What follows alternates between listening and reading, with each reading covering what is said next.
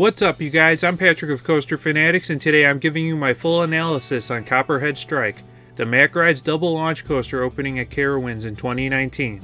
The first launch is 0 to 42 miles per hour in 2.5 seconds, and the second one is 35 to 50 miles per hour in 2 seconds flat. Copperhead Strike will feature 5 inversions on 3,255 feet of track for a total ride time of 2 minutes and 24 seconds. Honestly, most of these stats are similar to Time Traveler, which opened earlier this year and is also built by Mack Rides.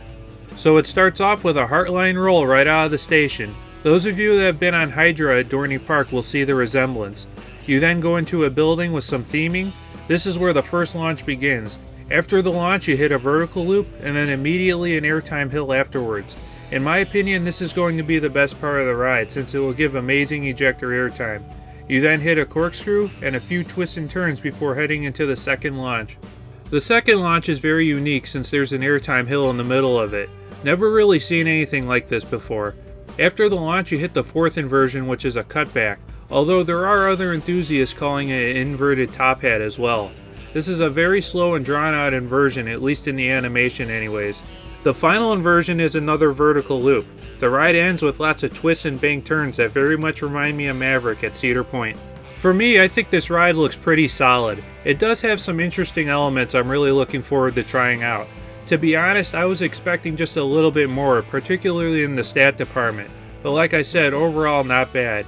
I am surprised Carowinds didn't go for any major records with this coaster. It does take the record for first double launch coaster in the Carolinas, and I think most inversions on a double launch coaster as well. But these aren't all that prestigious records, at least in my opinion. The theme is kind of a head scratcher with Grandma's Jam recipe and Copperhead Snakes, but I'm going to keep an open mind and see how it plays out. Copperhead Strike is one of the top three most anticipated coasters to open in 2019. In an older video, I predicted Carowinds to get an Intamin Blitz coaster. This one by Mack Rides is pretty similar and I'm really looking forward to giving it a try. Copperhead Strike will no doubt be a contender for Best New Ride in 2019. But anyways you guys, I hope you all enjoyed this video. Make sure you leave your thoughts in the comments about Copperhead Strike. Do you guys think it has potential to be better than Fury 325? And do you think it'll win Best New Ride in 2019? I'm interested to hear what you all have to say. Also, if you enjoyed, don't forget to like and share this video with your friends. Those of you that are new around here can hit that Coaster Fanatics icon to subscribe and stay updated on all things roller coaster. Thanks again for watching. I'm Patrick of Coaster Fanatics. I'll catch you all in the next video very, very soon.